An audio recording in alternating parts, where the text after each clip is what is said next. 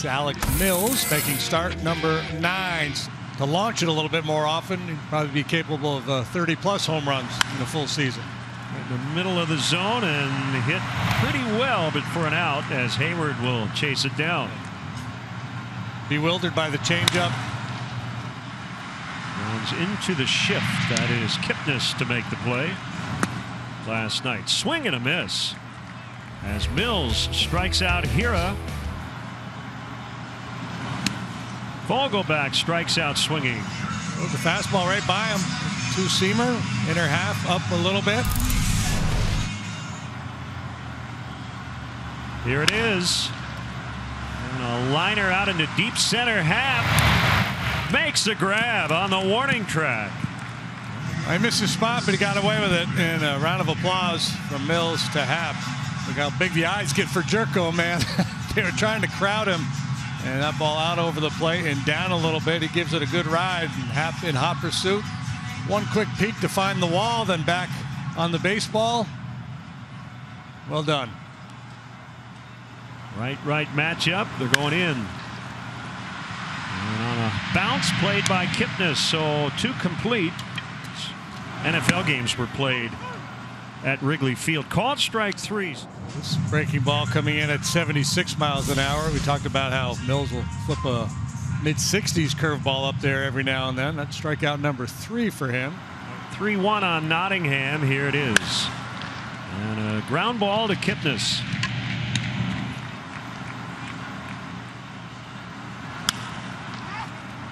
This will be a quick one, two, three for Alec Mills. Hope to see you back here at Wrigley Field when it's safe to return. Caught by Schwarber as Yelich lines out. To like even more of a separation. Ground ball could be two, should be two, is two. Yeah, taking advantage of you know the sloppy play by the Brewers. So Alec Mills has been outstanding. Now he's got a huge cushion to work with.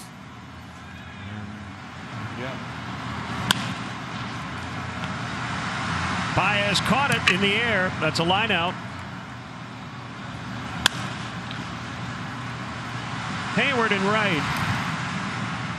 So Alec Mills leading 9 0 as a no hit bid through five.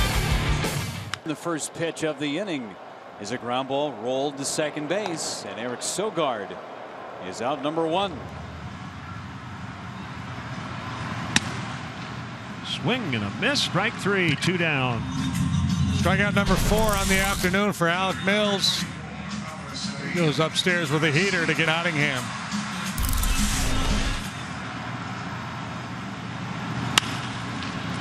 On the ground, Bote let it go, and Baez fires just in time.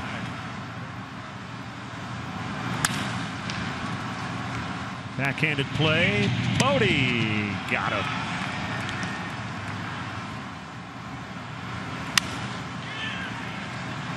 Here comes Heyward.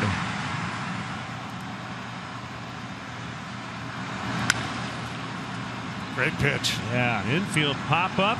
He's going to take a no-no into the eighth with a 10 0 lead. This is getting fun.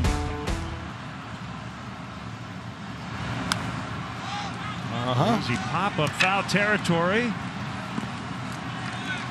Caratini the grab. Ground ball, backhanded Baez. He gets him two away. Popped up on the infield, David Bote. Woo! Let's go to the ninth inning. The undercard is the top of the ninth. The main event still to come. All kinds of Mills family and friends glued to their television sets, no doubt, with sweaty palms. Stay in here. Rizzo will make the catch. One away. the one-two serve. He got him swinging. Two down. Earlier in the game, there's a couple opportunities to throw the fastball inside, and he, he couldn't quite execute the pitch. Lately, he has been able to do it. Pop up of Gyorko back in the seventh. fastball in on the hands. Here's another good runner down and in, gets the chase. He is one out away. Deep breath.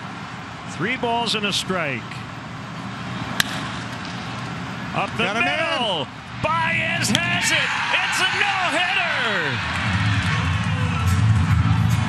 The former college walk-on has made history in Milwaukee. What a great moment for Alec Mills as the Cubs win the ball game 12 to nothing. Well, a great weekend for the Chicago Cubs and a great day for Alec Mills and the Cubs. Millsy with just great command all game long. There's only a couple hard hit balls all game, and he finally gets on a 3 1 pitch, a ground ball to Baez.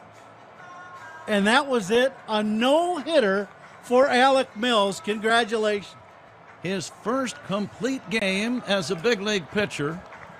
And I would say he did it in fine style with a no hitter, the first one by a Cub since Jake Arrieta did uh, have a no hitter back on April 21st, 2016, in a game at the Great American Ballpark against the Reds. It is the 16th no hitter in Chicago Cubs history. Right hander Alec Mills makes baseball history here at Miller Park in Milwaukee, Wisconsin.